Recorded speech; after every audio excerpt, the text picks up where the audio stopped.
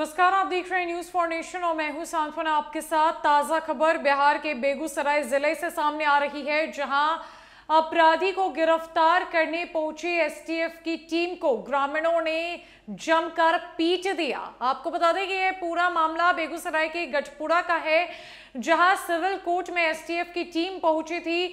उन्हें अपराधी को चुपचाप गिरफ़्तार करना था। जिसके बाद ग्रामीणों ने उनके पास हथियार देखा और एक ना सुनी उनकी और उनकी जमकर कुटाई कर दी।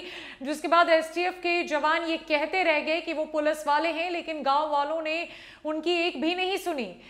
काफ़ी मारने पीटने के बाद गाँव वालों ने पुलिस को जब फ़ोन किया तो पुलिस ने मौके पर पहुंचकर जवानों को पहचाना और उन्हें इलाज के लिए अस्पताल में भर्ती कराया, जिसके बाद एसटीएफ के जवान बुरी तरीके से घायल हो गए हैं। अस्पताल में उनका इलाज चल रहा है। क्या कुछ जानकारी निकलकर सामने आई है? पहले हम आपको वो बताते हैं।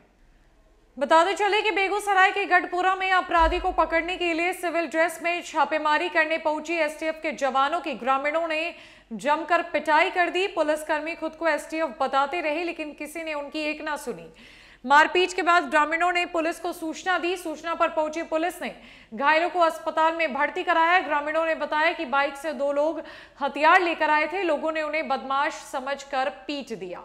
लगातार बिहार में बेखौफ अपराधियों का कहर परपता जा रहा है, जिससे लोग दहशत के माहौल में जी रहे हैं। लोगों लोगों में काफ़ी डरा सहमा हुआ सा माहौल है।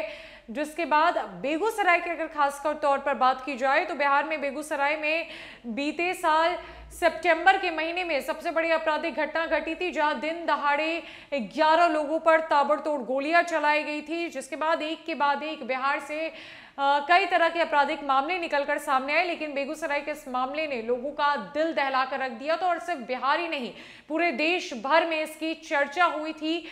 और इतना ही नहीं, बेगूसराय से आए दिन तरह तरह की आपराधिक घटनाएँ घटित होती रहती हैं, जिसे देखकर यह पता चलता है कि बेगूसराय में रह रहे लोगों में कितना दहशत का माहौल है। जब एसटीएफ के जवान अपराधी को पकड़ने के लिए गढ़पुरा पहुँचे उन्हें बदमाश समझ लिया, चूँकि उनके हाथ में हथियार था तो गाँव वालों ने उनकी एक नहीं सुनी और सबने मिलकर एसटीएफ के जवान को ही कूट डाला।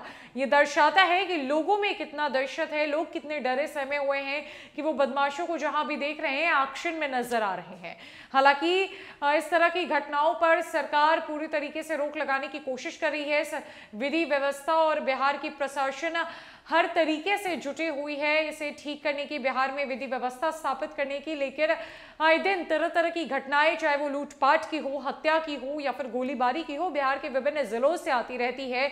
और अब बेगूसराय से एसटीएफ के जवानों को पीट देने का मामला सामने आया है जहाँ गाँव वालों ने उन्हें बदमाश समझ लिया। हालाँकि ये एसटीएफ के जवान गुप्त सूचना के आधार पर आ, कुछ अपराधियों को पकड़ने गढ़पुरा गए थे जहाँ उन्हें सिविल ड्रेस में पहुँचना था और सिविल ड्रेस की वजह से ही गाँव वालों में उलझन पैदा हो गई और पहले गाँव वालों ने इन्हें जमकर कूटा।